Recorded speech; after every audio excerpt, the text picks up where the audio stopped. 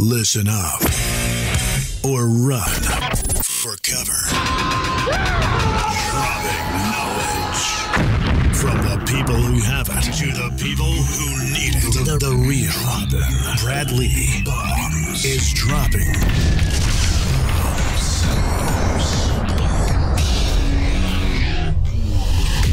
What it is, Brad Lea back again with another episode of Dropping Bombs. Today in the studio, folks, I got Joe Vargas. You probably know him better as at Hustler. CBD veteran here in Las Vegas, Nevada. CBDoil.com, that's you. That is me. Folks, you guys probably seen him or you're following him on social media. He's running around showing people how to get it done. Navy veteran. Yes, sir. When'd you get out of the Navy? Got out in 2006. 2006. Started to the in 1998, so I did a six year or no eight year term. Now, you ever hear Dropping Bombs full episode? Not a, f- I've, I've a lot of clips. people always come on so they're so they like listen to a few mm-hmm. but like if you listen to a full episode we're just shooting the shit son that's all we doing Yes, you got a lot of one liners, so I'm ready for it. now now now you started again you ain't always had dough No, right No, and and who knows how much you got now i mean you got enough to flaunt that's for damn sure but what is enough do we got billions you ain't a billionaire are you no, I'm not a billionaire. I'm not Yeah. even. I'm not even a nine figure guy. Not yet Not yet. you'll get there But You'll I mean, especially I- get there in this industry because, dude, you you popped into the CBD industry, and I think it's I think it's embryonic. yeah. Like, I mean, it's not even started yet. Right, right. It's definitely the beginning. Um, I started in 2015 before in January 2015 before anybody even really knew what CBD was. Hey, I've got a CBD idea that if I told you, you would want to do it, and it would make millions. And I'm talking about millions. Well, you got to do the pinky. Well, it'll, no, that's billions now. Oh. but dude, I got a CBD idea Mm-hmm. that if I if I did it, I would make millions almost overnight, and I wouldn't even have to touch any CBD. Okay, That's the crazy part. okay, I like it. Yeah, because it wouldn't be. I wouldn't be selling CBD. I'd be selling software. Mm. But the people that use my software would be selling CBD and a whole lot of it. I like it. Want me to tell you the idea? I do. How do we make a deal? Because you'll execute, motherfucker. Hold on, let's sign Now. We'll do but- an NDA right Well, we now. have to, and and maybe I'll trust you. You know why? Because I seen you get all pissed at I forget who was fucking copying who and something, and you had to step in and say, "You motherfuckers!" What were they copying? Oh, I somebody was Can I be? copying. Can I be transparent? Well, that's the only way to be, isn't it? Yes. Um. So I forget who it was, but I remember because I follow you on social media. Long. It was recent too. It was like last Yeah. week. Uh. So basically, Josh Snow has snow teeth white. Oh yeah, oh yeah, he came in here. And then Michael, Mi- uh, what's his name? Michael from Fit Tea, and uh, I don't know his last name, but the guy that created Fit Tea, that we all know, who they blew up on social media. Um, they started, you know, the whole like uh, social celebs. social media influencer promoting and stuff like that, Yeah. like many years ago. Um, he teamed up with Chris Delgado, which Chris used to work for Grant Cardone, and that tries to claim that he's the one that fills all the seats in Grant Cardone's uh, arenas and wherever else that he Does does. he claim that? He- that's his claim to fame. Dude, he's gonna be lying. He's gonna be lying. See, I know Grant, dog. I, I Want know. me to FaceTime his ass? Do it. Do it Grant right now. Cardone, Do it right I now. promise you, probably did use Chris because Grant used a lot of people. But dude, it's a whole. he was a marketing I know, director. but it's like, a whole thing He has that a, sells. He has seats. staff. Yeah. There's sales people on the phone. There's ad. There's there's a half million in ad spend.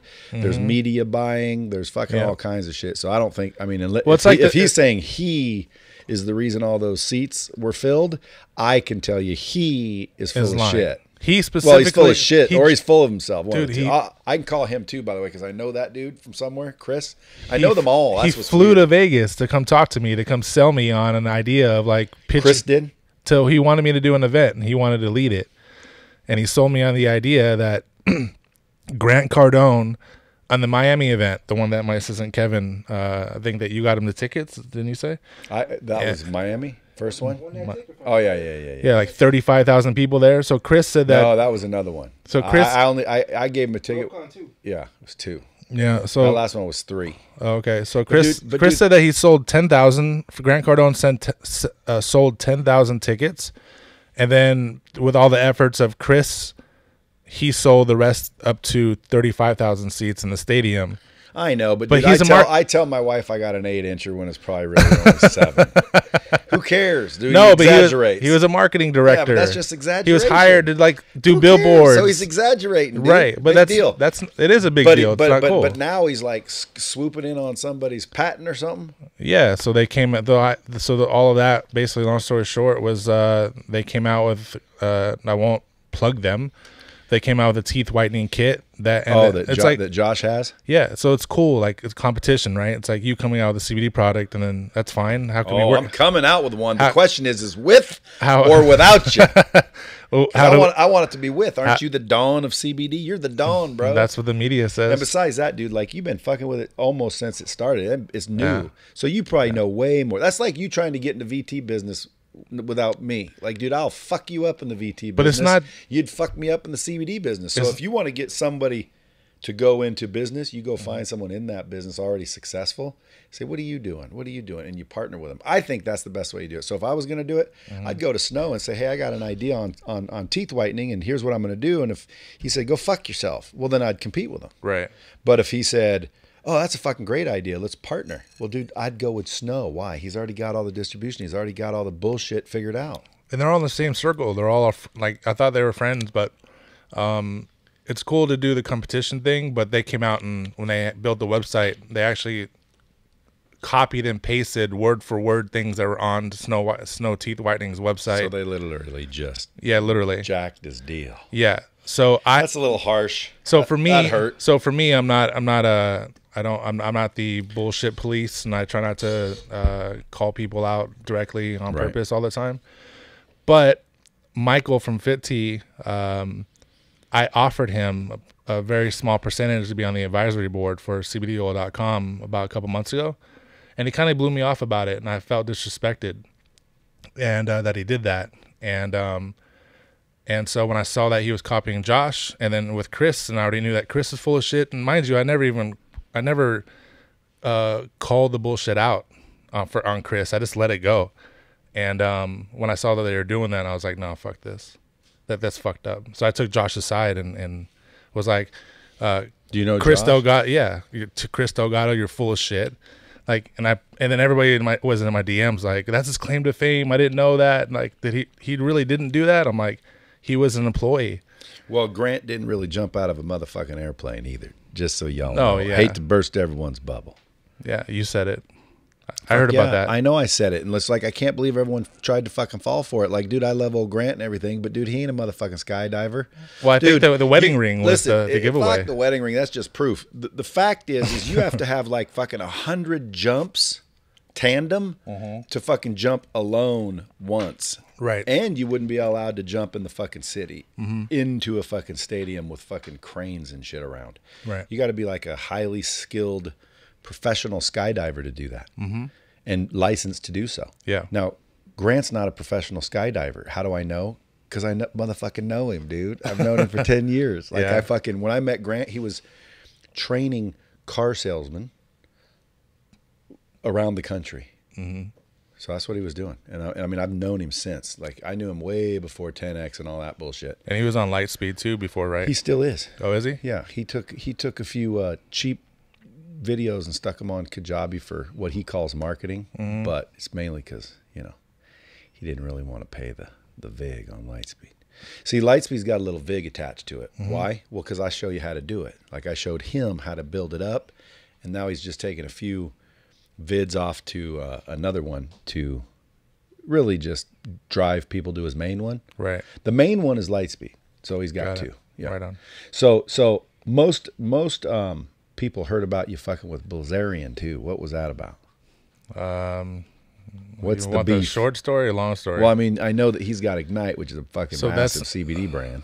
Yeah, but him being the competitor is not the issue. So what? That's what I'm trying to get to. so not. what happened? A Some at some point in time, you got pissed at him and said, "You're a fucking asshole." Okay, so I think a lot of people think that, but um, so a couple years ago, before he started Ignite, we were on Twitter, and he posted this picture of Alpha CBD, and, I, and to this day, I've never seen that before, up in, except for that one time. He posted a promo for Alpha CBD and said, "This is the CBD that's helping this kid that's passing away with cancer and after his treatments." Well, that was a lie. Um, it was a friend of mine's company that was helping them with the CBD and through his radiation treatments and stuff like that. So Dan was taking away from the spotlight from the people that I mean, it wasn't even my medicine; it was someone else's. And the actual behind the scenes truth was it was my friend's company giving him the CBD, helping him with the, re- the treatments. Um, he ended up passing away eventually, but um, Dan was paying for the medical bills behind the scenes and, and not doing PR for it. Like he was just giving the guy and the family money. And um, so he posts this promotion on Twitter about this is the CBD that's helping this kid. And I called him out and said, no, it's not. I said, and I told, and I basically said, that is not your CBD. I don't remember word for word, but it was like, not your CBD. You're full of shit.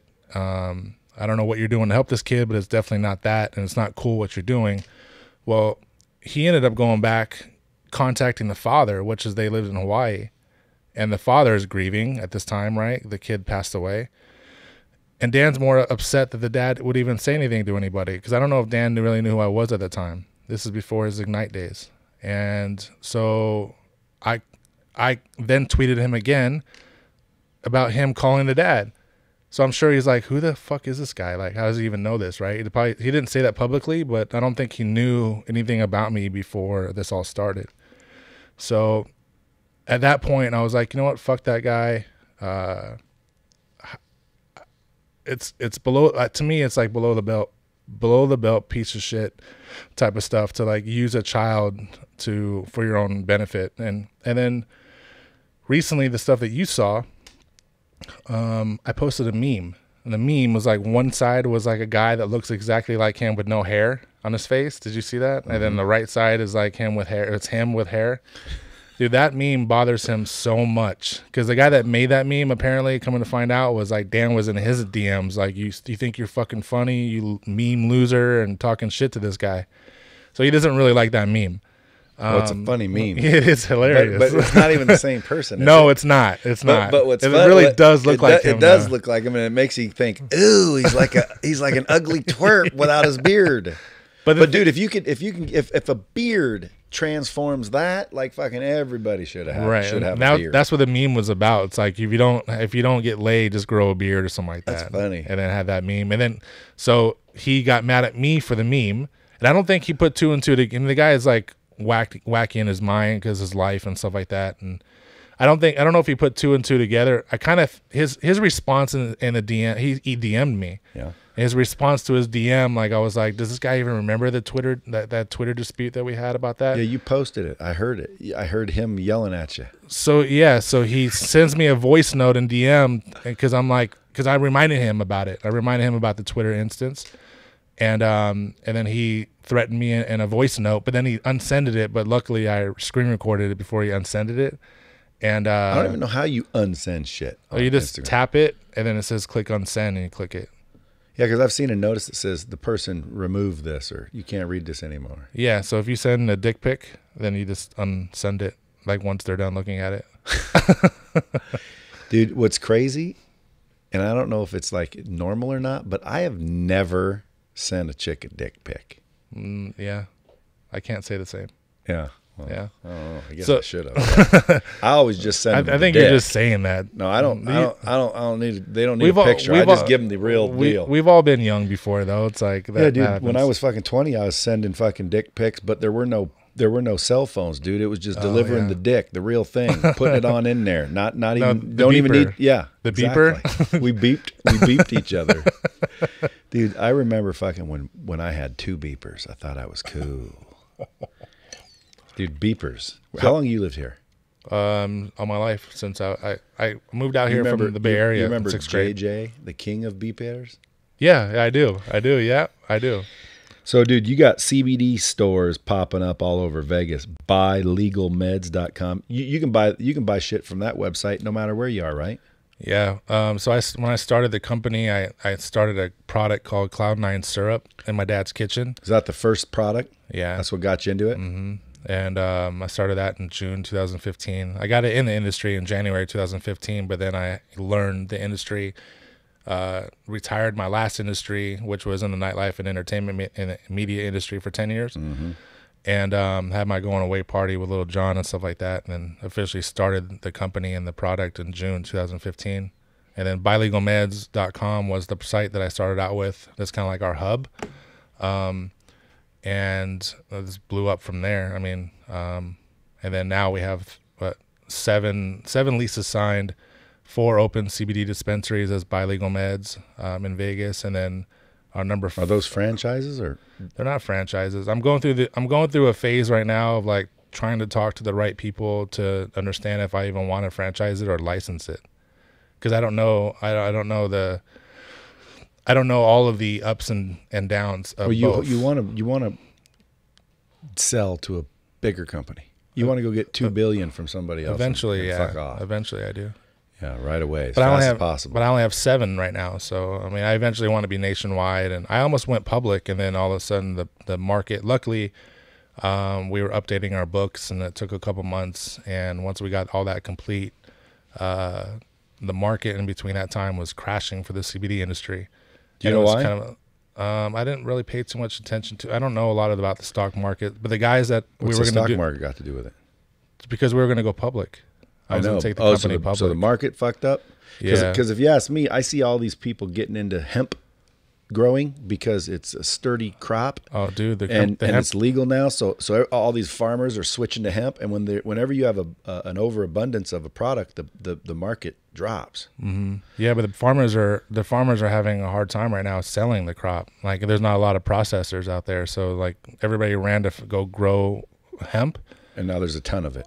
And they're fucking they're fucked right now. I can curse on this, right? Yeah, but that's but that's why that's why the market's down on it because that's why because like what's it called biomass? biomass, yeah. Yeah, like fuck if I if everybody's got biomass and it's all the same shit, well Mm-hmm. then fuck I, I ain't paying you as much. It's everywhere. Everybody everybody's hitting me up to buy my shit or buy their shit. So then the market obviously prices have to lower. But I, I hear it's still fucking high in demand, dude. You, you you don't have. I mean, you're you popping up stores. Everybody's wanting CBD. No, yeah, the products, yes, but um, we're talking about different. We're farmers and extractors. Yeah, but it and- has to start with the- processors. has to start with the shit, doesn't it?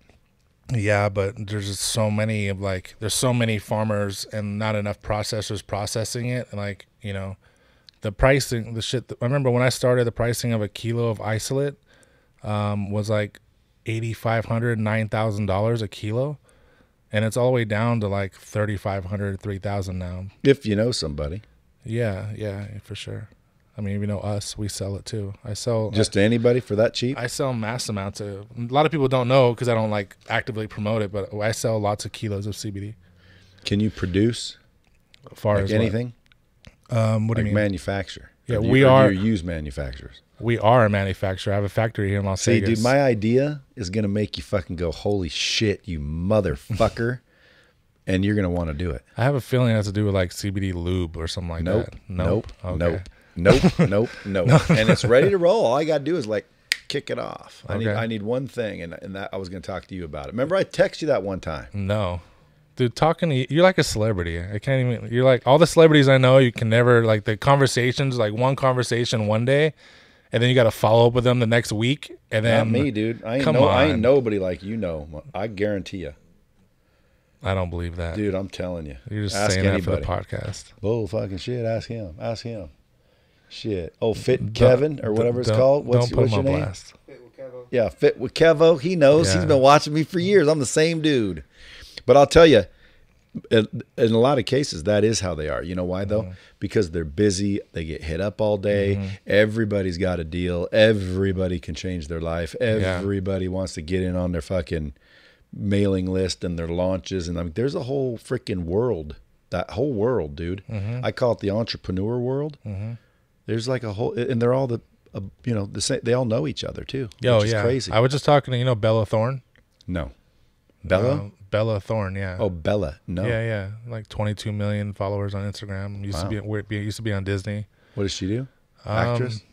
Yeah, but she's now doing like a lot of uh, independent like films and I mean she's a celebrity and and she just lives as a celebrity and does endorsement deals and Dude, I'm an old man, dude. I ain't I ain't in touch with all the fucking yeah she's 20 something. Yeah, I ain't, I ain't in touch with all the fucking what do you call them? Gen X Zers. Oh yeah, yeah, yeah. Um, but yeah, like I was talking to her the other night, and uh, the best time to talk to those type of people are at nighttime when like What do you mean? Talk to them? You mean on the DM and shit? Of no, on a text. I text a lot of them. what like for? Voice notes. They like and- CBD.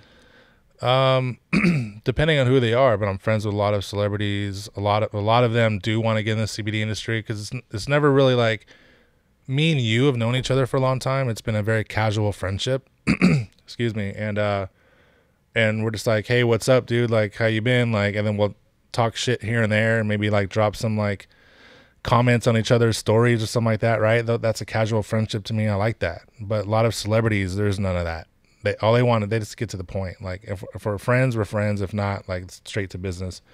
And a lot of them uh, there's always like a what's the benefit right? They're just so busy and they have their own like little niche of friendships. So like even like Rae Sremmurd which is like a rap group i have to get straight to the point with them like i want it i want you to do cbd like there's a cbd deals that that or like introductions that i need to make for cbd but it's always business and then you have some that are just like like me, where I just like I enjoy genuine like conversations and friendships, and there's not nothing has to come out of it. Yeah, I'm more like that. However, I like when I when I do do business. Mm-hmm. Let's get straight to business. Right? Don't you like that? Yeah, for sure. Like it's the best that way. It's like, yeah, I ain't using your fucking shit. Oh, okay. Or fucking yeah, you know, I'll give it to you for X, not back and forth, back and forth. I just like creating. I just like building a relationship though. A lot, Oh, a lot I of them just get to the point, and it's like, what, you know, Well, you're going to be the one left standing because relationships are the new economy. If you value money over relationships, soon you'll mm-hmm. have neither. right? It's true. You can write that shit down mm-hmm. because guess what? That's BL original. Mm-hmm. So CBD. Now, if I could, I'd buy CBDs.com, but I'm sure it's already taken. I think it is actually. Yeah, because dude, whoever owns CBDs, that motherfucker's the wonder- coolest of them all. Like I'd rather have CBDs than CBD oil. Why? Because I'm a fucking jokester. You're gonna make more money with CBD oil because that's what motherfuckers gonna be typing into fucking Google, and your shit's gonna pop up every time. But I'm gonna get the motherfucking jokesters because they're gonna type in CBDs nuts. I want. I suppose you could probably just keep doing an E and eventually get CBDs nuts. Once- but how many E's? No one's gonna know that. Once we're done, though, I'm gonna go buy the domain because it's available. CBD's nuts. Jeff Celentano, have someone right now go go go buy cbdsnuts.com. Because that's what's funny. Or no, just CBDs. Yeah. Dude, I got a nice uh, you're going to love my idea. All I want is just a smidgen of it. You go do it all. Is it a product? You said it's a It's, product. it's a product that I'll give you, and and you'll just again you'll collaborate the idea, make it just a better one, and then when we launch it, we can launch it like this. And when we launch it, dude, I bet you in within th- two months it'll be a twenty million dollar company. No shit, okay. and within a year could be 200 million and and the goal would be to get the fuck rid of it like i just want a couple hundred million dollars Okay. so if I connect with you on it and you're like, okay, I'll do this with you, you're the fucking main dude in the fucking industry. I'm just giving you the concept, and when you see it, you're gonna go, fuck. I go, why didn't think of that? Everyone's gonna go, holy fuck. Why didn't I think of that? So it's not out yet. No one's done it. Nobody's done it. Nobody does it. Okay. And and what's funny? Let's say me and you on this side of things. I make my own company. We do this mm-hmm. together over here. Right. nothing to do with what you do on the other companies. That company right there would be worth twenty million within a couple months, and two hundred within a year. And all I want to do is just after a year get my two hundred, and I'll fucking give you your ten million. No. No, hold on. With the way you operate, you I, I'll get twenty percent. No, we'll figure it out. We'll figure it out. Hey, we won't. I won't let money come between us. Okay, because it's too good of idea and it's going to help too many people. Yeah. But the cool part is, is I won't even when I'm done, I won't even be in the CBD business Right. personally. Mm-hmm.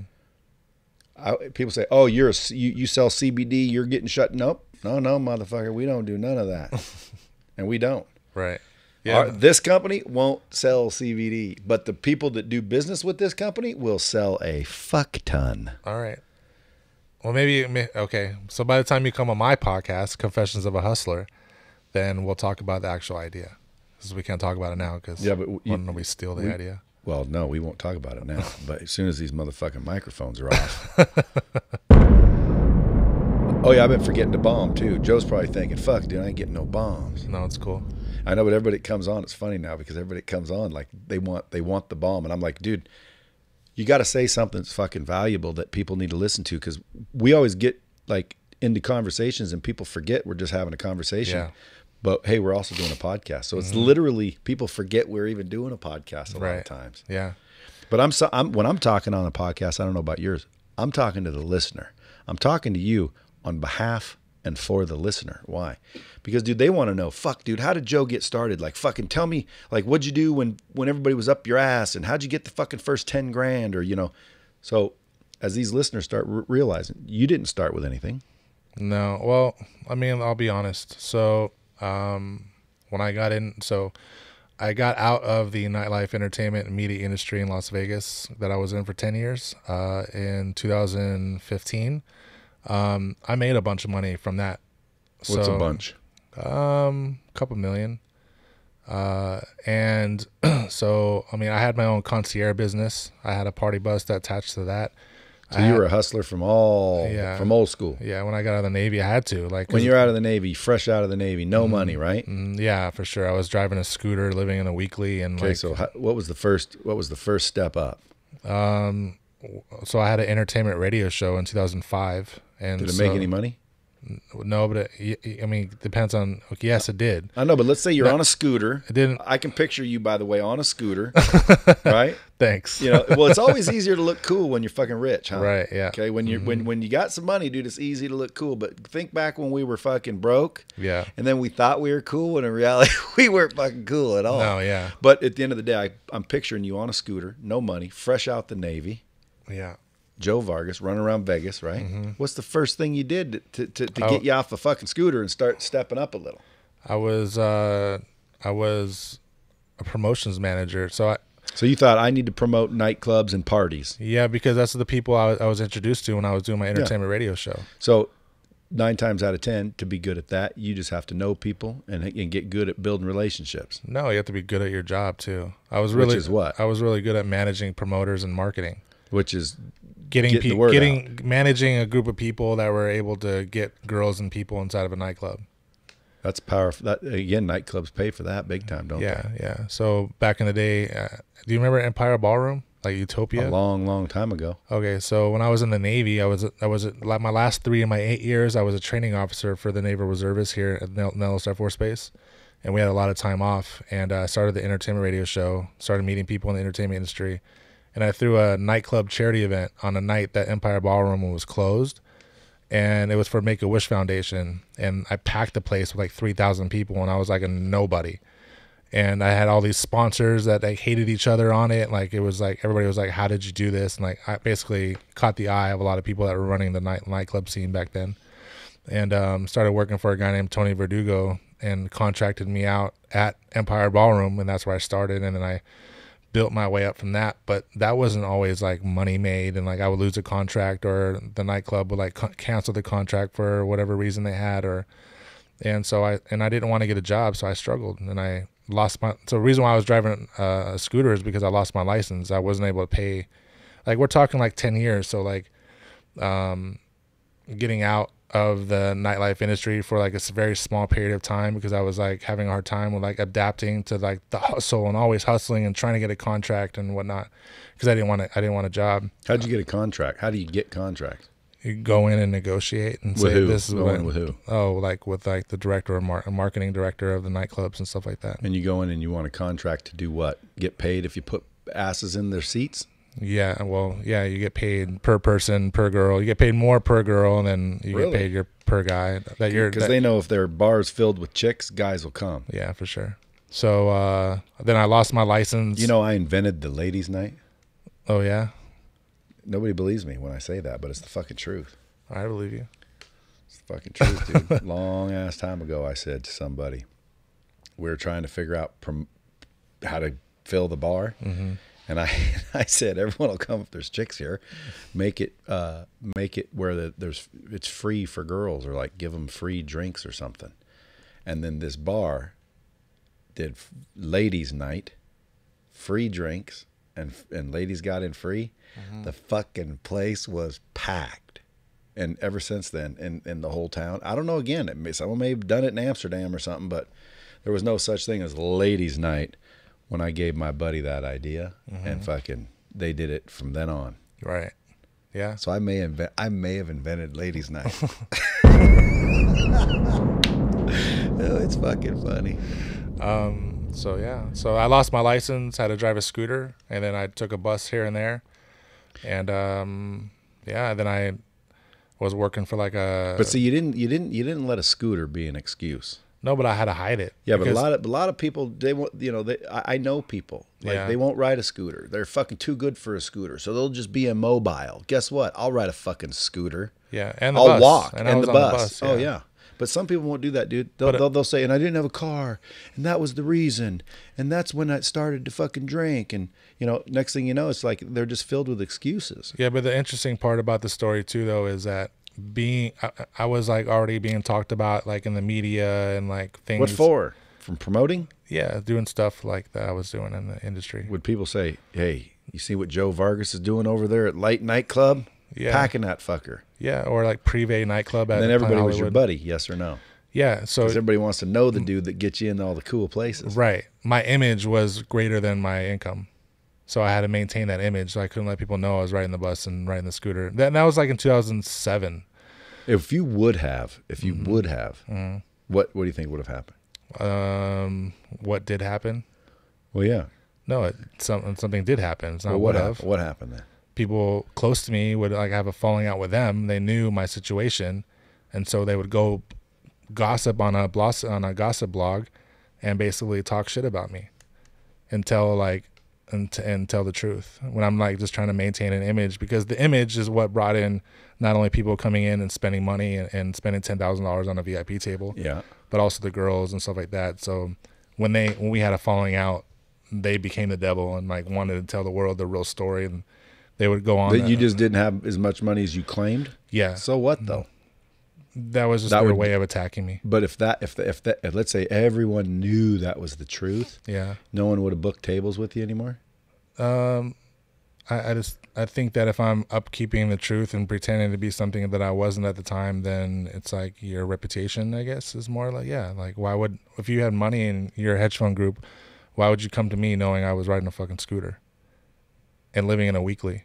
Well, were you looking for people to give you huge dollars or rent no, no, tables? no, no. It was Like I don't, I, I dude. If you called me right now and you, and I didn't know who you were, and Yeah. you said if you ever want to come into this motherfucking nightclub, you hook a brother up, Right. and I'll hook you up, dude. I'd call you. I don't give a fuck what you drive. I don't even care. Like who cares if you're rich? right. Now, if I knew some bigger than life character that ran around the casinos Mm-hmm. and you still the one that got me the tables, I still wouldn't give a fuck if you were rich. Right. I I mean- just, I just think, how's this motherfucker making all this money? He must be making a lot of money fucking Right. booking tables. Right, right. It wasn't just the tables though; it was booking the entire trip. But So- like, but but you'd bring like what bunch of people in for a for a whole event, like a whole coordinated tour thing. So you're talking two different things here. You're talking about like marketing and promotions and managing promoters is like bringing individuals in. Like I used to walk into Privé and Planet Hollywood with my team with like 300 people at, at 11 o'clock. And it was like a train inside Planet Hollywood of like girls and people and me and my team. And then I became the manager at Privé. So I was now managing. I See, how come I didn't know you all these fucking years? See, it was an interesting time and then um yeah and then 2009 privé opened and that's kind of when things started like turning for me and started being more consistent and um and then all the the individual teams that privé had as the marketing and promotions teams like on the outside i was doing such high volume numbers with my team that they're like we want you to come in and work internally and manage the people that are doing what you're doing and so i took that because it was a great deal and and then there was a big uh sh- the, the club shut down and stuff like that so what do you think happened to KAOS here recently? uh, i already know what happened to KAOS What happened? i'm not even in, in the industry anymore and mind you i used to i used to like own and operate the the the most popular nightlife blog in the country it was kingofnightclubs.com so my my job was to basically i became a journalist out of nowhere Have you ever heard of the Dirty? that's the gossip website that they, that they used to like try to like beat me up on Oh, they did. Mm-hmm. I know someone that ju- I know someone well that just said that they know the owner of that, Nik Richie, but he sold it. Yeah, he sold it, but it's not even the. No one even cares anymore about the site. I haven't heard about it for a long time, but when I heard did hear about it, it was fucking big for a minute. Yeah, so I mean, and um, my most popular article on that website, 13 signs she might be an escort, was read like 17 million times around the world. And it was like a short, it was like the most random fucking article to go viral. Um, but I don't know, man. Like all the nightclubs I would shut down, I was the person that broke the story, and that's and I started building a relationship with Robin Leach. So then the- I'm Robin Leach, and I Yeah. don't know why. Yeah. Hey, so tell me, why'd KAOS shut down? Okay, so um, the money that they were spending. Uh, so there was something that happened with. Okay, I'm gonna have to say allegedly, so I don't get sued. Um, but this is this is the truth, but allegedly it's the truth. If that's proper to say, not getting sued. Um, so this guy Alex Cordova that worked at the Wynn, because mind you, uh, what's the guy's name with the marsh- Marshmello was at XS for a while. Well, at KAOS Open, Marshmello went to KAOS. They they signed a deal. John Gray and Alex Cordova, they're friends. Like, how do we get Marshmello from XS over to KAOS? Um, and so, word is on the street that they did it under the table deal, and that's why Alex Cordova got fired over at the Wynn. Um, this is all recent, and then John Gray and his team got fired for not only um, spending more money than they were making, and the budgets were, were too high for what At they the were Palms? making. hmm Um, they also found out about the under the table deals they were doing. This is all allegedly, by the way. Wink, wink. And, uh, Allegedly. yeah. You're talking about John Gray. The yeah. So John and He's Alex, like the GM over there. John and Alex allegedly um, did the side deals and this whole operation, this whole thing. They were just spending more money than So KAOS shut down instantly. Mm-hmm. Everybody's pissed. All the employees are like, what the fuck? Yeah, my sec- my private security was a security guard there, and uh, he he was telling me today because I'm hiring him for an event tonight, and um, he was he was saying that everybody there is getting fucked over. What um what's John Gray doing? I don't know. I don't really know much about. Doesn't he work there? yeah, he did. Not anymore. Oh, they fired him? yeah. And then I heard, also heard, uh, and I don't even know the dude, but I know I know his wife's. Well, I know his wife's sister. Who? John? I know John's ex-wife. okay. From what I hear, they're not together anymore. Oh, I don't know. I don't, I don't know much. I've I've always known about. Damn, it sounds like his him. life's unraveling, is what I'm saying. Like, Yeah, wife's gone, It's like job's gone. What Yeah. happened? Was he screwing people or no? Or allegedly? No. I, allegedly, they're just doing under the table deals and spending way too much money, and and they were fucking being greedy. Damn, that's too bad. Alle- allegedly. allegedly. All right, dude. So if if if all these people listening thought to themselves, "Hey, um, where do I go? Why would I want CBD?" Mm-hmm. Here's what I've discovered: Right. the human body. I don't know if you're aware of this. Has CBD receptors in it. Yep. You understand that? Yep. What that means is you have CBD receptors in your body. If you don't get CBD, but you have CBD receptors, what do you think that means? I, I'm waiting for you to tell me. means that you're malnourished unless you take CBD. Okay, so I, You want me to drop a bomb on that? Because, dude, people don't understand. Like they're they're worried CBD, CBD. It's like uh, everybody relax. First of all, second of all, I think the Dupont family way back in the day decided to fucking screw everybody, stop the hemp industry that would have flourished and nourished, and uh, out of greed.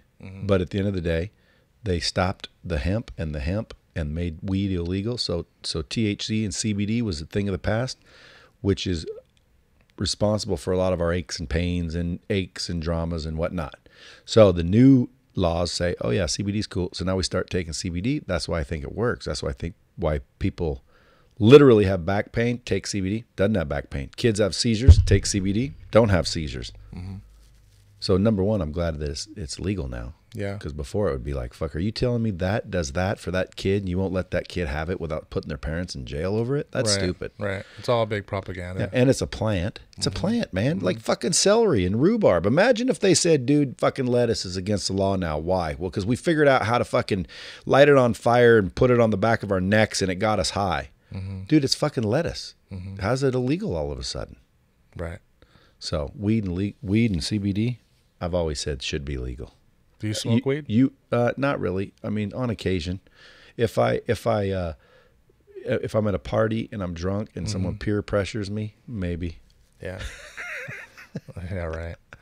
No, really. I mean, I, don't, I don't do it I usually, intentionally. get, I usually get stoned at nighttime when I'm done with my day. What about what about CBD full spectrum with THC? No, uh, what's it called when there's THC free? Uh, THC free. CBD. Mm-hmm. Is that is that the shit that's legal everywhere, or can you have Yeah, that so point zero three? Well, it's 0.3 percent. So, but there's a difference though. There's multiple. Uh, I just seen you saying something the other day about some bud that you smoked, and you're like, "Fuck you! It doesn't get you high. This is gonna be the biggest shit ever." What was that? um, CBG, CBG. cannabid. Can, it's hard to pronounce. Cannabidiol. It got it gets you high. What kind And of it high? got me and Kevin high. What kind of high?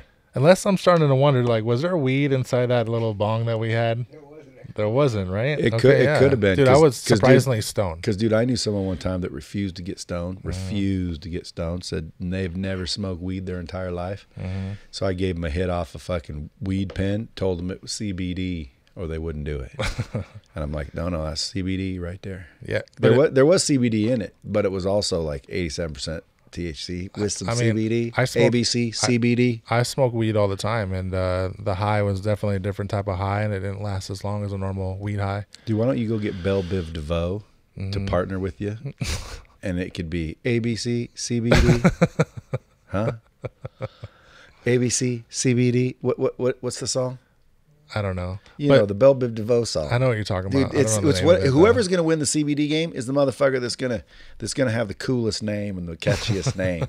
That's why CBD oil is probably gonna fucking win out one of them. I try to because because you Google that shit because Yeah. Uh, CBD oil. It's like you know, hey, where's that? What's that shit called? You know, CBD. Yeah, they'll d- type in CBD or CBD oil. Yeah. and fucking you're already CBD oil. Yeah. Who owns CBD.com? You want? It's funny. I try to I try to buy it, but Christian Book Distributors buy, owns it. The Christian, if you Christian, Oh, you know who probably owns that? who? Uh, the Green family. Oh, I don't know. They own all the Hobby Lobbies. Oh, okay. Yeah, they won't sell it. Christian Fuck Book no, Distri- you- they got and so much money, it's CBD.com ridiculous. CBD.com forwards to Christian Book Distributors. Well, whoever uh, owns CBD is probably got the Oh, biggest sure. one, but CBD oil probably Yeah. next. Yeah. But it's I think it's going to boil down to whose whose game it is. I think I could come in and compete with you right now. How? Build a fucking good product and, and with a cool name and a cool branding, and it, people would want to buy it. Mm-hmm. I may not be able to compete with you because I can't get it as cheap and da But I could fucking put a pro. I think anyone could build a product and put it out on their line. Because dude, if I if you weren't in CBD and I had this CBD mm-hmm. and I showed showed it to you and it made your elbow stop hurting, where would what would you say to me? Where do I get more of that? Yeah. And I'd say right here, bro. Bradley CBD. And and when someone else says, "Hey, try my CBD," you'd be like, "Fuck you, dude! I got Bradley CBD." Yeah. Or no, I use Bell Biv DeVoe's brand. So you like- that's ABC, BBD, CBD. So you like the you like the jingles. Yeah, it's part of the brand. Yeah. So CBG actually is medically better than CBD. But the thing is, CBD, it's CBD is the breakthrough of you know the whole cannabidiol system, and um, it always carry the torch. Because some people are like CBG will be bigger. I'm like, no, no, it won't. It, it it's better in farm in terms of medically because it uh, reaches your receptor one and two, whereas like in your body um, and repairs it, uh, and CBD only repairs one receptor one. So medically, it's it's better, but I mean, it's not going to overpower and become greater than um, than CBD. Do we have CBD receptors? Yes or no? Yes, That look and uh, receive CBD. yes, So if our bodies have built-in CBD receptors, it tells you that we are supposed to be getting CBD. yes.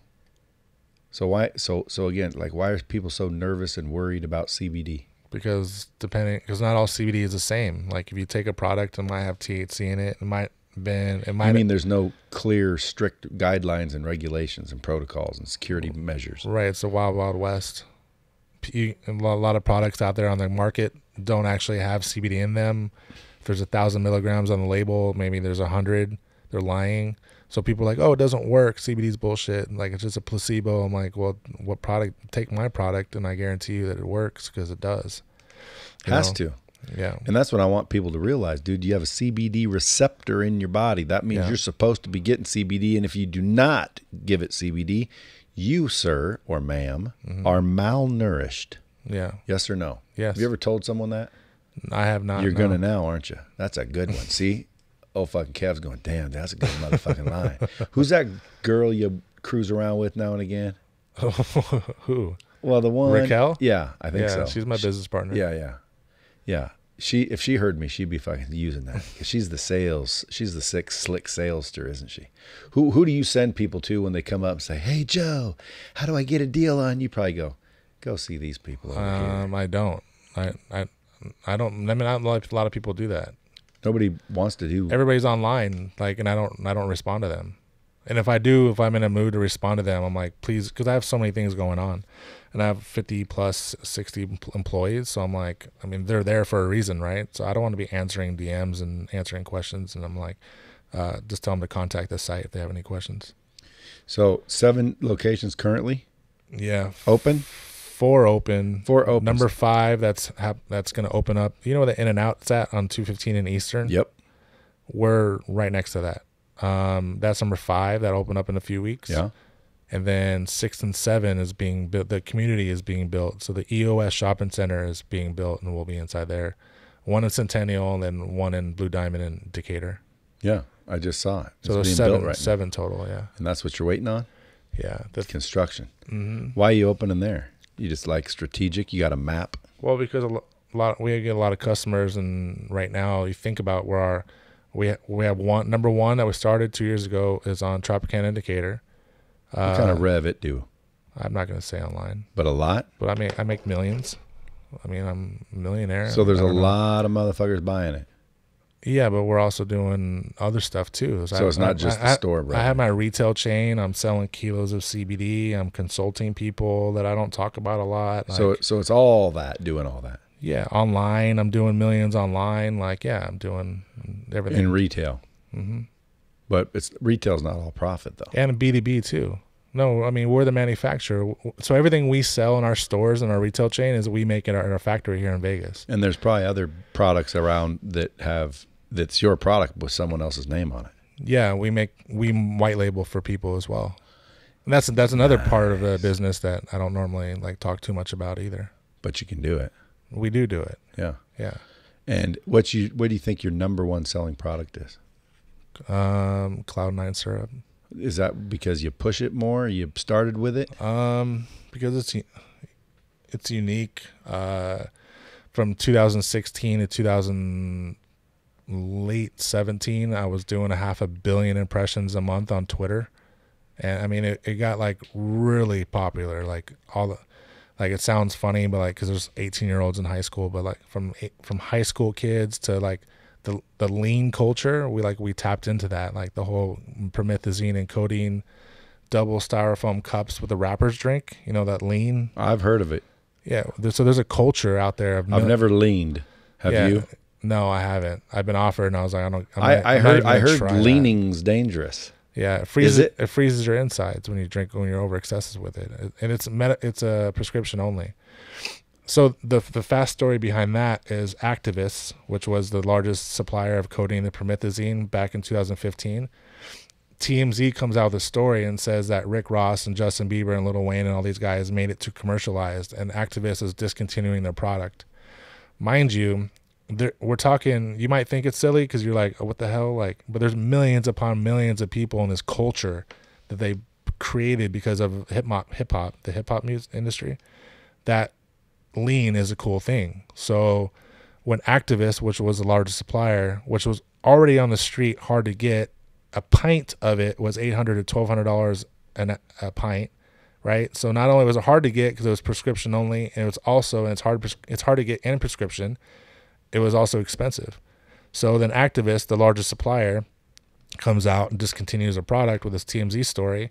So the, the the summer of 2015, I was like, you know what, fuck it, I'm gonna go ahead and we're gonna switch the marketing from being like happy go tree hugger medical for this product, and then I went heavy and spending between sixty to eighty thousand dollars a month um, on, on at the time Twitter, and uh, we were like, there's a there's also a ceremony that goes with it, like pouring the bot pouring pouring the lean inside. Because the syrup itself you mix it with a drink, and it's colorful, so you mix it in a Sprite bottle, which is a thing for the lean side.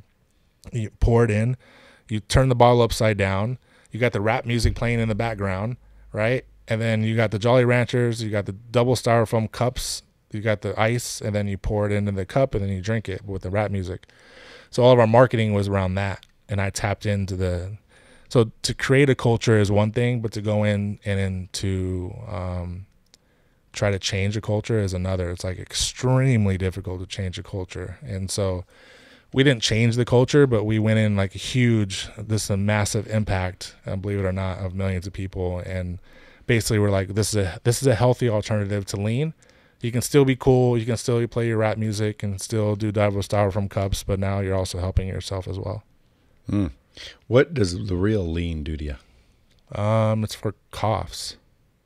So what does it what does it do to you though? Oh, it makes you like really slumpy, and like your whole world is like slow motion, and See, but who wants that? people, people that do drugs. I don't get it. I don't either. Is that why they call it lean? Because you just sit there Yeah, and lean yeah, over, yeah, yeah, yeah. and it freezes your insides. Yeah, like Lil Wayne. I don't know if you're familiar, like in in the news and TMZ. Like every time he has a see, it gives you seizures as well when you're over excessive with it. It's an opiate. So when you're abusive, and also too, a lot of people are drinking lean with like Molly. Like they're like it's just or or sometimes the fentanyl is in a lot of things right now. So they're not under you know yeah. Damn, dude, how do you get so knowledgeable on all this hogwash? Uh, talking. I mean, like medically or the marketing side of it. yeah, both. Um, Like, med- I, like I didn't know all that.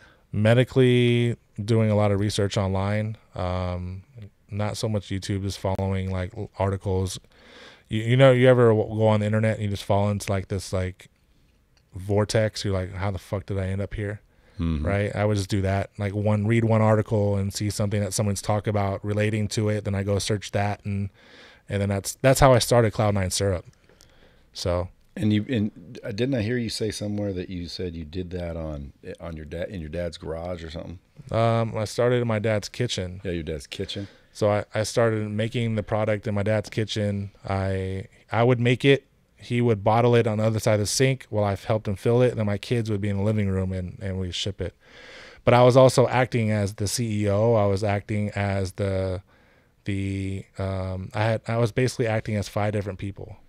So I was five different. So I was the I didn't have employees at the time except for my family. So I was a CEO, I was a social media manager, I was acting as the customer service girl, so I was a little bit more friendly online.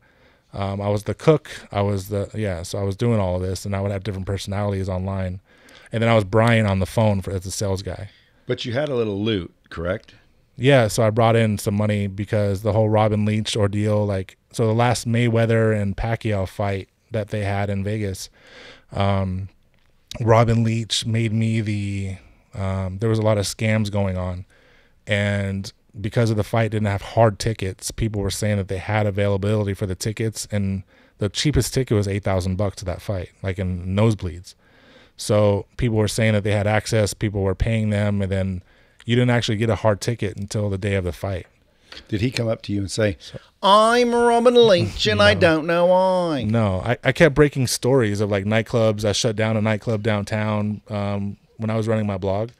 Um, I kept breaking stories, and they noticed that I had my foot in the door with like, like they weren't breaking the story, so they basically piggybacked off me, and that's how I met Robin because he approached me and was like, like uh, when Hooray at Palms shut down, that I, I broke that story. When um, Do you think he has anything to do with you having champagne dreams and caviar wishes? Yeah, because he he made me a lot of money. So with the Pacquiao and, and Mayweather fight, because of the scams that are going on, he basically made me the poster child to say I, I had a site called instavegas.com. And that was the concierge business.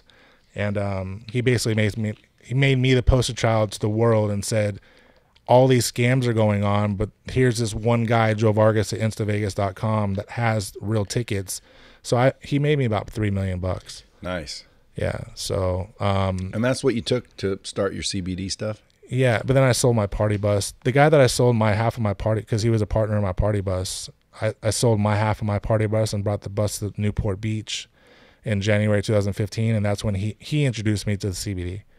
So I ended up selling my party bus, shut down my business, changed my number, got out of the industry, and um, yeah, that was. You still was do you still see people find you and say, "What's up, dog? I need to get in someplace. No, no, no. I need, I need to every- pack a house." no, everybody knows that I'm the CBD guy now. So Yeah, but dude, you also could use your old skills. Like again, what's uh what's his name? Chris Delgado. yeah, He, he supposedly can pack a house. yeah. Can you pack a house? What for an event? Yeah. Um, yeah. I mean, I, I that's not that's not really like I what I know, but, focus but, on though. but but dude, I'm telling you, I- like I have hundreds of customers. Mm-hmm. All of them are like gurus and subject matter experts and authors, and you know, I have some sales experts that can't sell their own fucking virtual training. right. Oh, okay. They're they're they're sales experts, but they're not selling their own. And I'm Mm-hmm. Right, like, well, I took a look at it because it's like if they're on my system, that's gonna make me look bad. Yeah. So I'm like, well, what's going on here? And it boils down to one thing every fucking time marketing. Mm-hmm. Like, you can have a VT system. Do you, you, do you even know what one of those are? Yeah, It's, it's not. you, you it- tried selling me on the program. oh, I I, told didn't you try no. selling you. You'd be closed. Your No. ass would be closed.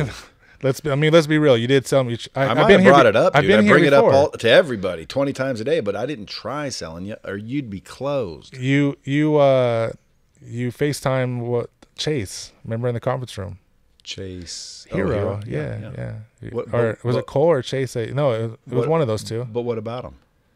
I, I'm saying I was here when you were trying to pitch me on doing my own thing. No, I, you mean I brought it up. You pitched me on it Yeah. and try. But and I didn't. but I didn't try to close you because I'll close your ass. It's it, dude. It's a no brainer. Like I could show you how to make so much more money than you're making now just by leveraging Lightspeed. You know, can't do you- it. You can't do it with Kajabi. I know. It ain't a course. It's not one of those things you think it is, like everybody else in the world does. It's like you would use an interactive video to make more money than you're making now. Here's how it works. Like if you do you drive people to see a video or no? Mm, no.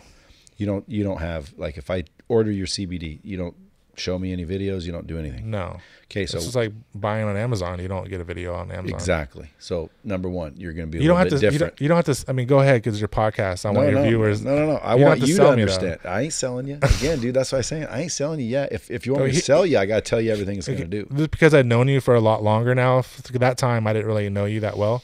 Um, I I I want you to refresh my memory, and I also want your viewers and and your your. No, I'm serious, because the biggest thing I've heard all the all this time I've known you now, which is many months, Is is like, yeah, it's too expensive because you want twenty percent of all my revenue. that's not true though? See, people don't get it. So that's what I'm saying. So go ahead and reiterate it, so that way, I'm not only myself, go ahead. And, Well, we'll do it later offline. I'm going to tell Oh, you okay. my CBD deal too. Okay. But I'm just saying, I didn't try to close you. You'd be closed Okay. because anyone that I try to close, I close.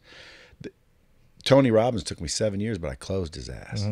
Um, I just need to see like a bigger, obvious use case. And like again, you do CBD. There's not a big use case there. You could create a course and go out and make a bunch of money with it. Well, but, but that- Hemp Academy is what we were going to do with it. yeah, but that's not really the big play. The Mm. the bigger play would be CBD consumers. You know, Yeah. if you're selling millions of millions of CBDs, who are you selling them to? If The you're like- world. If you're like people, Yeah, okay, well, sure. good. People need to understand about CBD and Right. maybe refer others and whatnot. Mm-hmm. So it, it, it it it makes an impact. Like Cole, Yeah. you, you know Cole uh, Hatter and Chase. Yeah, of course. So like Cole, he's getting he's jumping on Chase. I think it will eventually uh, do something, but that's courses. You know, like Grant has courses. Yeah. Damon has courses. Yeah. Hemp Academies, I'm sure, is a course. Teach how to build But what. since we're being, tra- I'm not trying to like throw you under the bus or anything like Dare that. Dare you to try. I love it. But I you wanted it. be you want- authentic you, and you pure. wanted fifty thousand dollars and fucking twenty percent, and I said no. No, I needed fifty thousand dollars to produce your content. Well, that was a consulting fee. No, it was not. Yeah, that's what it was. Dude, That's you're full of shit. No, you're, you're full definitely of not full of shit. You're full of shit if you think I charged you 50 grand. I sell a 50 grand package, Right. which is to produce 10, and a, 10 hours plus of interactive courseware, Right. do all the Well, work for to you. show us, how, to basically show us how, how to do it. I'll also show you, but I'm not going to show you if you ain't fucking doing it here, Right. obviously. Right. Right. Right. So 50 grand is not consulting. 50 grand is production. Like this shit ain't free. Mm-hmm.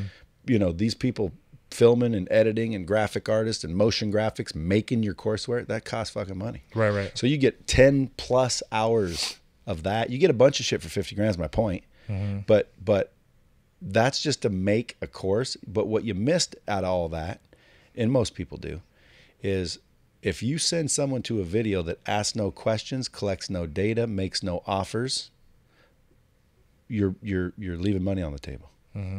You understand? Yeah, no, of course. So if I send you to a video, whether I call it a hemp academy or I call it fucking sales training or I call it fucking you know whatever your whatever the video is, right. if that video cannot ask questions, adapt its content, and make upsells and offers in real time, then you wasted my eyeballs. Mm-hmm. Right. Because you just showed me a 30 minute, 40 minute, two hour course, didn't ask me any questions, Mm-hmm. and didn't sell me anything else. So, what do most people have to do? They got to go remarket to me after I went through that. Hey, what'd you think? What'd you like? Because they don't have interactive content. But have you ever thought about have you ever thought about charging a monthly like a smaller monthly fee and like the whatever percent that you and the person decide on and doing a smaller monthly fee than one big rip of 50,000? Dude, you can sign up for the platform right now for zero out of your pocket. Mm-hmm. It's zero. Right.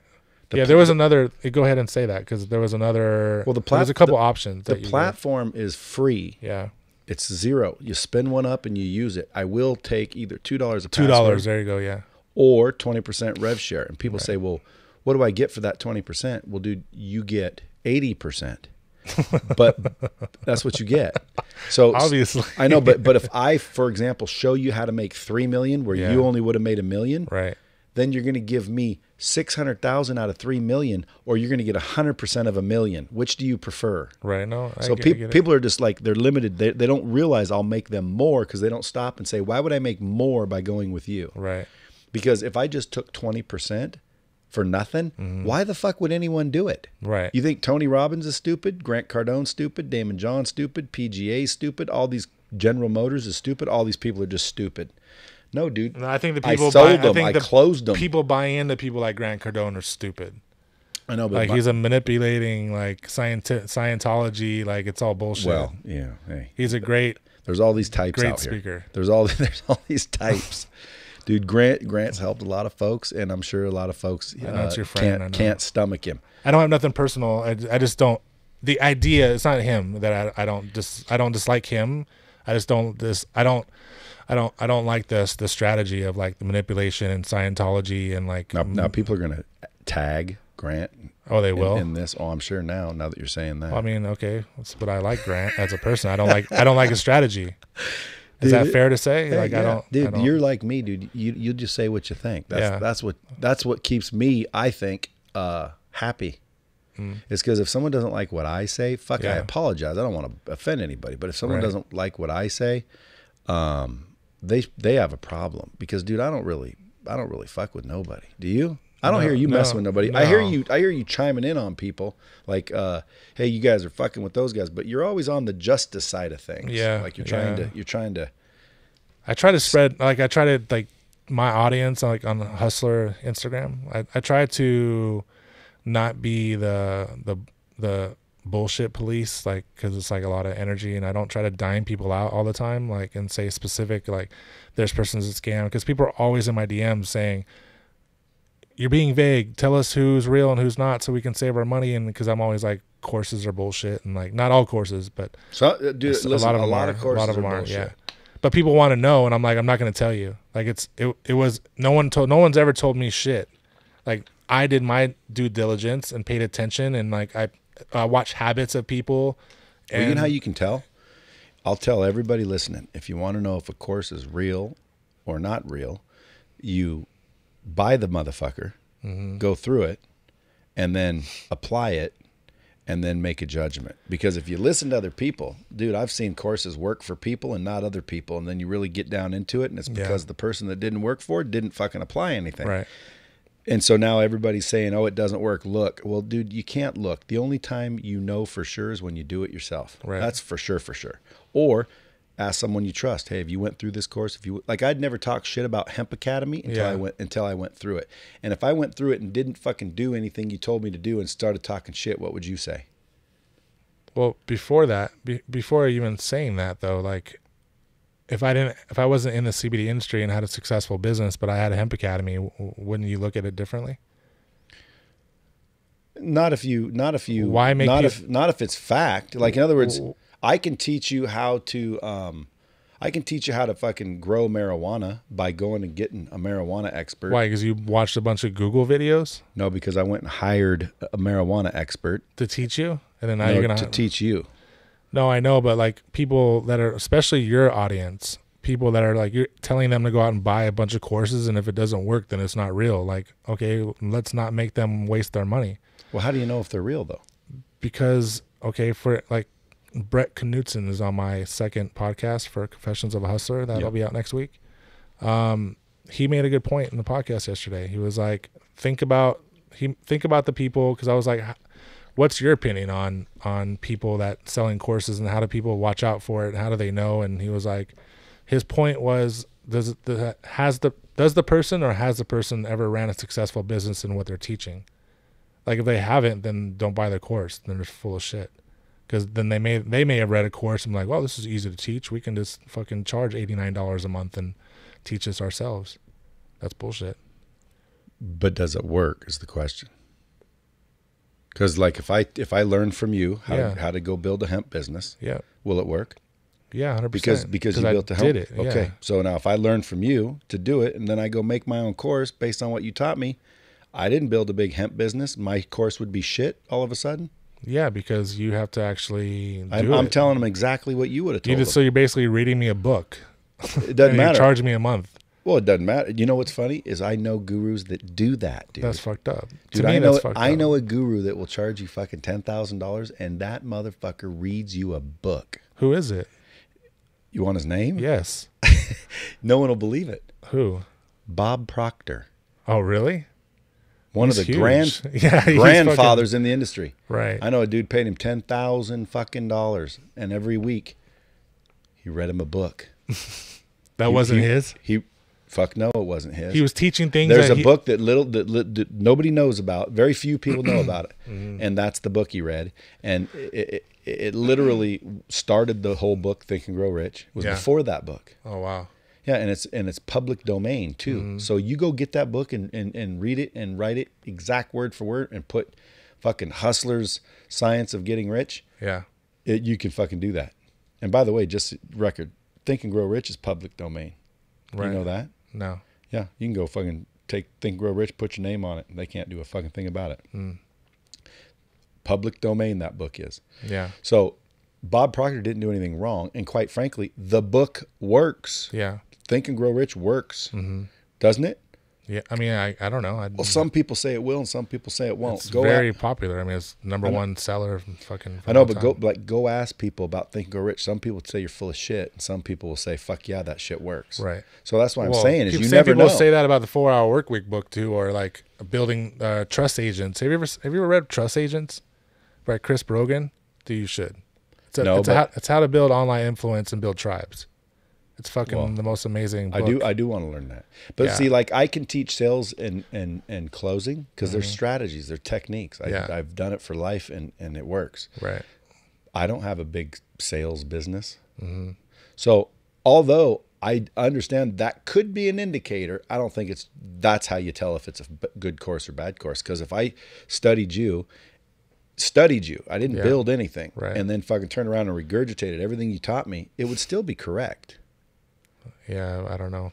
No, it's I it's based on that what practice. what I didn't say it was it was a fucking uh, what do you call Moral? it moral practice. I'm just saying that there's people out there with a course that may be totally legitimate course that Yeah. they didn't build a business with, but they but they sell it. Like right now, there's um, Grant Cardone licensed uh, trainers.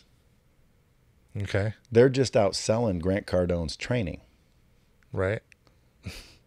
They, so, so, so, so it's basically Grant's course. It works. This guy's just selling it. He's never built a big sales business.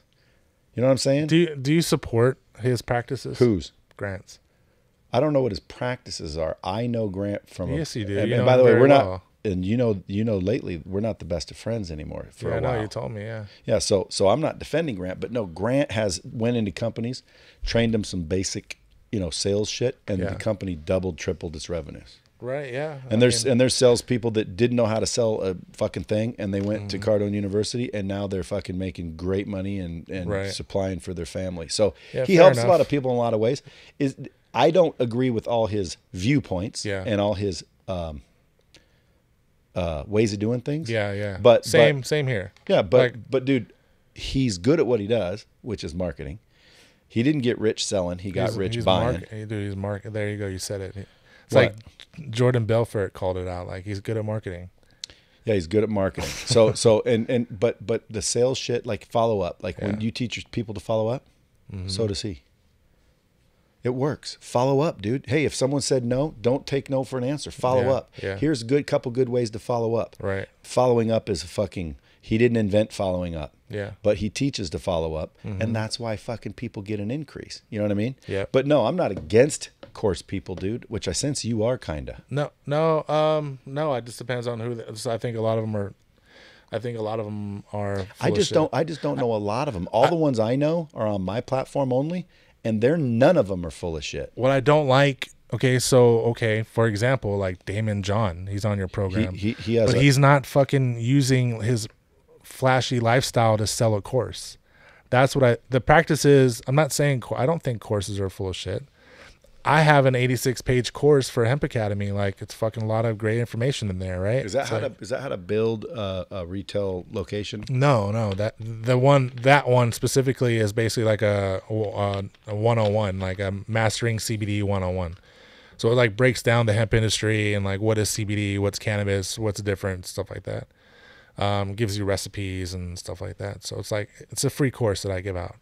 Um, it's like an introductory to like certain things that I do. Um, but like yeah, I don't I don't have a Hemp Academy isn't even like a full operational academy yet between launching cbdoil.com, uh, launching. I, for some reason, my, in my hustle mind, I was like, wow, it'd be a great idea to fucking launch cbdoil.com. And at the same time, fucking open up two stores at the same time and do it like I was fucking. I'm an idiot. Is it a lot of a lot of work to do? Oh, dude, I, I was, um, yeah, mentally, I was fucking overwhelmed. And so and this is September of this year. Like, I was like, August, I made the decision on opening two stores at the same time. And then doing CBDoil.com, I launched September 4th. And then, you know, and then I have all these other ideas. Like, I just launched finally Confessions of a Hustler um, podcast. And I have, I still haven't done Hemp Academy. It's like, you know that i'm not afraid to admit it like i have ideas and i think that i'm able to imp- implement them but then i'm sometimes i'm not mindful of my time right? Because then i still have someone that i'm dating. Then i still have my children that like i need to make sure that i'm mindful of them all the time. My son lives in california. He's in finish off he's finishing off high school out there and move, he'll move with me when he gets done. But i have to be mindful of him all the time. Like you have a mental capacity dude. Like i, I fucking in my mind i'm like i can do this. I'm a fucking hustler. And it was fucking hard, man. Like I didn't talk, I don't talk about it like on Instagram, like you know, but it was tough for sure. So Hemp Academy is still in the works. What what of- will that do? Because if you're gonna build if you're gonna make a course, the goal is to have an end result. So, like for example, if you take my course, Mm-hmm. you'll be X. So if I go through Hemp Academy, what is it going to teach well, me? You'll learn. You'll learn the industry. You'll learn how to like. There'll be different things, right? So like one or like how to get your own retail store, like what to look for. You gotta, you know, I can drop a couple things here, like, you know, things that I didn't. All the things that I've learned, like through the process, like is what I want to teach, and um, I don't want to do it for free, you know. So um, But but but like if I'm listening and I'm watching, you know You- what I want to see? I want to see how do I do what you do? How do I go open that store? So Hemp Academy to me, Yeah, but that's just one thing though. I know, like, but- but- let me but- click this. Let me click A because I want to know the retail store, which is a, which is a class inside Hemp Academy. yeah, yeah, yeah. So then you have sections. It'll be subcategories. Like I want to be a grower, and this is what you do, and I want to be an extractor. Like depending on what you want to do in the industry, right? So it'll be like chapters. Like, and I'm sure you can see it in your mind of like how your um, VT works. But um, and so like if you want to open up a retail store, like I okay, well you need to find M zone in your city. M zone, Mary, M zone um, is for manufacturing, and there's certain sections in the city you're not allowed to have manufacturing. So you got to go out and find. I didn't know that, right? It teach people something. Some of this stuff is simple, but it's like stuff that I didn't know myself. Um, then you have to find the proper, uh, not only just the proper facility, but in like uh, in terms of space. Like, what are you going to do in the space? Um, you know, there's like, and then how do you open up your? Now we're talking about factory, and then th- th- I'm I'm referring to the factory. I'm only saying that because I manufacture our products, right? But if you only want to do retail, then the section would talk about like what locations in the in the city, like in your demographic, what you want to look for, and then how do you market that? How do you open it? How much money does it cost to open it? Like, what do you do? What's the what's the SOPs to open your store? Um, you know, staff. How do you find the right staff? What do you teach your staff? All that stuff. Yeah, but or or here here's an upgrade. Click on this button and I'll teach your staff. Right, See, that's right, a that's a training system.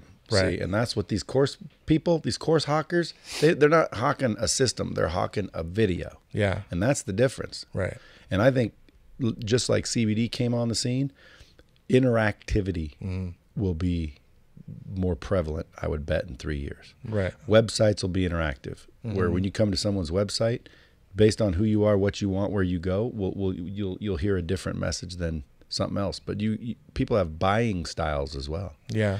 Anyway, dude, you said you had to bounce at three, so I don't want to keep you here too long. And you're local, so if I need you back for another episode, you, Yeah. will you come back and do another episode? Only if you do confessions of a hustler. I'll do confessions of a hustler, dude. I'm I, I would consider myself a hustler, so so you know, I'll confess, We got Um, a priest waiting for you and everything. huh? So we got a priest waiting for you All and everything. all right. Well, folks, if you guys aren't following Joe already, go follow him at Hustler on Instagram, at Joe Vargas LV on Facebook, and then just Google them. Yeah, don't really go to my. That's my personal Facebook, like with my family and friends. Just go to at Hustler Yeah. on Instagram. Do you, do you just mainly do Instagram? mainly, and then and, uh, Casey Adams. You know Casey from Sure. Build Your Empire. He's put, he's getting me on TikTok. Um, at Hustler on TikTok, which is going to be the next, I think, big thing. Yeah. It won't. I don't it's think a it, little addicting, dude. I start Is it? watching it, and yeah, I'm like, oh yeah, yeah. Have you have you done it though? Have you? I haven't made my first video yet. I have an account, but I was told by someone who's really good at it, Mm-hmm. do not just post a video to post a video. He said be very strategic as to what kind of content you want to do and then learn w- what the real shit is there and he said it'll you'll blow up quick quick quick. But you you watch the videos though. TikTok to me is kind of like it's very hard to get used to as far as 10-year-olds? Yeah, yeah, I guess. A lot of them see ten year olds. Like sometimes I'm I'm, You just I'm have to- scrolling and I see a like a cute, what looks like a eighteen year old say, Yeah, If you're over 30, keep scrolling. This ain't for you. I'll wait. and then, of course, you know, I'm thinking, if you're over 30, keep scrolling. Like, there's nobody on this fucking thing every over 30. everything like, e- every- everybody's 15. everything is like an act. Like everything is like theatric on that. That's and then like people like me and you. Like I saw, do you see Jordan Belfort try to do this TikTok and he was like dancing like to the fucking like no. no, it's because I don't, I don't, I don't, I didn't look up anybody. See on there? No, he posted on Instagram that because he got into TikTok, and but the thing that he had like young teenagers that were helping him do, but he was like, it's just you do you have to do things that we're not used to doing. I'm not It's doing very theatric. I know, but I'm not doing that. You have to like, You know what they're trying to get you to do? What? Make pe- is, is the goal make people watch you? yeah, Because because like if you see Jordan going, no, he was doing. who, who- uh, who cares? Like I'm just doing gonna some keep like scrolling. he was doing some random dance. It's just it's entertainment. But, but it's the one like, the ones that are like clever are the ones that go, "Oh my god, I think this person's gonna freak," and you're and you're like creeping through a hallway, and it makes you just fucking watch. Yeah. And then you get to the end of the fucking hallway, nothing fucking happened, and it starts over, and you're like, "You motherfucker." Oh yeah, yeah. Next. Yeah. So it's almost like creative. But if someone told me the goal is to get someone to watch the whole thing, and then get them to subscribe, Mm-hmm. and then get them to share or whatever your your thing is, then I could figure out what angle. It's the same thing with podcasting. Same thing with fucking everything else too. It's it's figure out what your message is and then fucking own the message. And, Mm-hmm. Yeah. and that's why I haven't made a video because I don't want to get on TikTok and be like, you know, play one of them songs you see people going, I wanna hang, or that one that goes bibbity bibbity bop or something. you see that one? No, Where basically they come out all fucked up with no makeup and ugly and shit, and like three girls come out and then I forget what song it is, some Disneyland where it's bibbity bibbity bop, and then Yeah. when they do that, now all of a sudden it looks like they're going out to fucking privé. Oh okay. They go from nothing to glamorous in, in an instant. Yeah. I'm not doing any of that shit. I, I do want to point out to your audience though too is that they can always contact me. I do. I shouldn't say I never look at my DMs um, unless they're like people that I know. I do. Or they got blue I- check marks. I do. Yeah, that's for sure. That's what the the incentive of having blue check mark. I know. I just discovered that the other day. Listen, my my life on social media is one thousand percent different today than it was one year ago before I had Hustler and a blue check mark. Really? One thousand percent, dude. How do you leverage? a Dude, how do you think I have all these like I'm talking to fucking all these celebrities like a lot of I wouldn't say 100%, but a lot of my relationships now is because of Instagram. blue check mark? Because fucking why am I why is this like A-list artist and celebrity fucking talking to me because my my message now went into his inbox. The one that he pays attention to or she pays attention to, right? You just have to- check marks go in there. Yeah, yeah, and people take it more serious. They're like, okay, cool. Like a lot of people talk shit about like blue. I think the people talking shit about blue check marks are the ones that don't have blue check Dude, marks. everybody I know wants a blue fucking check mark. yeah, hundred percent. Everybody I know, including influencers that are not verified, But have people- called me and said, "How the fuck did you get that check mark? I'll pay you ten grand." And I'm like, "I didn't pay for a check mark. I don't know how to get a fucking check mark. I Mm-hmm. would have paid for a check mark. I didn't pay for a check mark." One day I woke up and someone said, "Congratulations." And I said, How? Why? And they said, You got a fucking blue check mark. I ran to fucking Twitter, which I don't have one. And I'm like, No, I don't. Yes, it is. And they sent me a screenshot. I'm like, Oh, fucking Instagram. Run over to Instagram.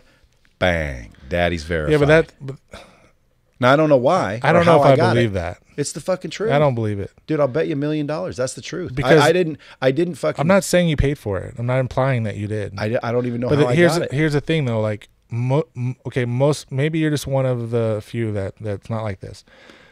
People that talk shit about like people like not everybody with a blue check mark, but to get a blue check mark, you have to have media about yourself, right? But majority of the time, the people like I'm not gonna I didn't just I'm not gonna say that I, I, I didn't wake up one day and got it. I took the media that that is uh, there's tons of media about me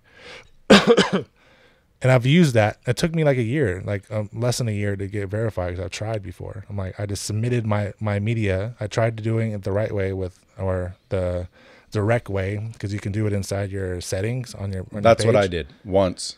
Okay, that's probably. I You got lucky then. Yeah, that's Because all I that doesn't did. happen But, but it didn't happen for like a year. The thing, well, the thing for me is that I somebody that I know that that has a relationship with Facebook, and I said, "Here's all my media. Can you help me get this in front of the person that I don't know how I even know how it happens? Is someone sitting in a room like this and hits a button and it's like, you know what I mean? Like, how, what's the process? There's like two people. Is it like a like a, a nuke button where like two people have to like enter their code in to like allow that to be approved? I don't know. But all I did was around the time that I got um, verified, bef- little a couple weeks before that, there was a media article that came out. Was like how I became a multimillionaire, and the local news station basically did like a story about my my story about how I came up and stuff like that. And in the headline, it was about me because I also, you know, fake Melania, the conspiracy fake Melania, how she has a body double. You never, come on, dude. Dude, I'm not in with the memes. Oh, okay. and the, no, it's not a meme. Like the whole Oh. dude, the oh. whole world like What, what's fake about it. Melania? How well, Melania Trump has a body. Double. I just body figured out double. who the little alien thing is, R- little Ray or whatever. I don't know who that is. See, I, I'm fucking behind. No, but I'm been like, dude, every the White House, every media in the whole world. It talks- says there's a fake Melania. Yeah, she well, has there a- probably she has a is body for double. safety. I know, but I started that conspiracy. Oh, Like, does she? No, no, like legitimately, she does. But I, I, I'm my shit. I was I was on Ellen DeGeneres, like she made a skit about me and like about this whole fucking conspiracy on her show. The the White House correspondent Katie Bennett went on HLN fucking to, and they were talking about me how like my fucking conspiracy was bullshit. The whole world. I mean, I'm surprised you haven't heard about it. The whole world talked fake about it. Melania. Yeah. It, there's no, let me tell you, you couldn't pay for the PR that I got. How'd you get it? Um, I was stoned in bed one day watching a YouTube video, and I saw fucking Trump talking in this press conference, and the um, pull it up, Kevin. I want to see that. The camera guy zooms in on her face because he knew himself it wasn't her. And you're like, that ain't fucking Melania. Right. So I But tweet, it looks, it's supposed to be. yeah, it's supposed to be because he even says like.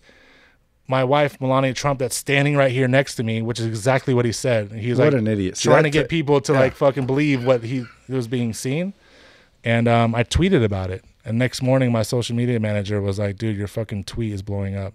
And it was like I watched it. It was like 6,000, 7,000, finally like 130,000, and um, and then it just fucking spread like wildfire. But because the the video is so believable, uh, what is it? What is that? And um, so I mean, it's you look at it, it's it's like, you know, it's even a camera guy zoomed in on her face. To Are you are you big on Twitter? Um, they suspended my account. I had the Secret Service coming to my house because of this. Like, the that's why I'm so, so I'm so surprised that yeah they told me I need to fucking chill out because I hired a publicist. Like I was like, dude, it got so big, dude. I, I'm surprised you didn't hear about Did you this. make any money off of it? Yeah, I mean, I, I mean, Other than just- she displayed my company logo. She made fun of me and my company. She was like, his name is buylegalmeds.com, so he's he's probably trustworthy, or making a joke about it. Ellen Ellen? Ellen DeGeneres on her show, yeah. God like damn, the dude. segment was about That was me. a fucking lucky break. yeah, yeah, it was. So I don't And even know why I started talking. And it was that. all from a tweet. yeah, from a stone in bed watching YouTube, and I was like, hold on. I was like, that's not that's not Melania. I said something like, that's not Melania. Um, I wonder what else what else is a lie. Huh. Yeah, are you a Trump fan or no? No, I fucking hate him You why? because I think he's a piece of shit. Because he lies. I just think he's a piece of shit. Who would you have voted for if you could? Um, Between him and Hillary. I don't like either of them to be honest. with you. But at the same time, like, I'm not deep into politics where I'm like, that, that's a hard decision. Like, I think Hillary is fucking crooked as fuck. That's the only. Right. Re- that's the only reason I was happy for Trump is because guess what? Hillary's a politician, But and, like- and it's old school, same as usual. And Trump was the only one that might go in there and start breaking up the old boy network, getting rid of the backroom deals, Yeah. and and and rooting out the fucking frauds to Right. at least you know enrich himself, Yeah. if nothing else. Yeah. But you know who knows? I, what what what bothers me is is the media. Why? Because, dude, if everyone told the fucking truth, I could form a, a, my own opinion. But I don't know if he's doing good or if he's doing bad. Well, that's the problem. I hate him or if I love That's him. the problem with Obama. Everybody likes Obama, right? He's like he's like a Will Smith. Like everybody fucking likes Will Smith. Like he's just a good person. He's fun, and he's a great speaker. That's right. But then fucking Obama that I voted for, I'm a vet that has fucking medical coverage, and they took away my fucking medical coverage because they said I make too much money because of Obamacare. So it's like here I am voting because I like a person, and then they're fucking me over like on their poli- like on their politics and supporting. And I don't think I really knew enough about Obamacare to like know I shouldn't support it. But yeah, Where should people listening go support you? At Hustler. Buy legal meds and CBDoil.com. yeah. What buy- if they want to get in on this uh, crowdfunding you're going to do? Yeah, so that's an interesting process as in itself. You ever done crowdfunding before?